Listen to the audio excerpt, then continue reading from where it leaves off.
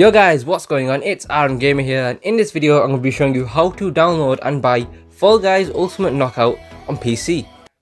Are you sure about that?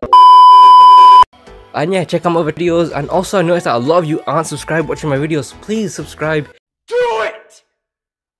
Just do it! It would really mean a lot and yeah, let's just get straight into the video. So quickly, what is Fall Guys all about? So Fall Guys Ultimate Knockout brings hordes of contestants together online in a mad dash through round after round of escalating chaos until one victor remains. Battle bizarre obstacles, shove your way through unruly competitors and overcome the unbending laws of physics as you stumble towards greatness. Leave your dignity at the door and prepare the hairiest failure of your quest to claim the crown. So what you want to do first is open your browser and you just want to type Fall Guys Ultimate Knockout then you want to click the first link right here which is saying Fall Guys on Steam. Then you want to scroll down, you can see more information about the game as well. And you just want to click add to cart for Fall Guys £15.99 in the UK. Then you click purchase for myself or purchase as a gift.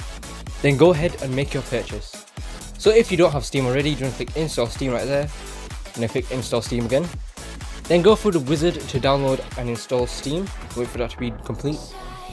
And once Steam has finally loaded and finished, you just want to open Steam up and you just want to go onto your library and you should be able to see Fall Guys right there ready for you to install. And if you just wanted to purchase the game through the Steam launcher, you can also do that on the store page as well. You just want to search up Fall Guys Ultimate Knockout and you should be able to see it and buy it directly through there as well. So that is how to buy and also install Fall Guys on PC.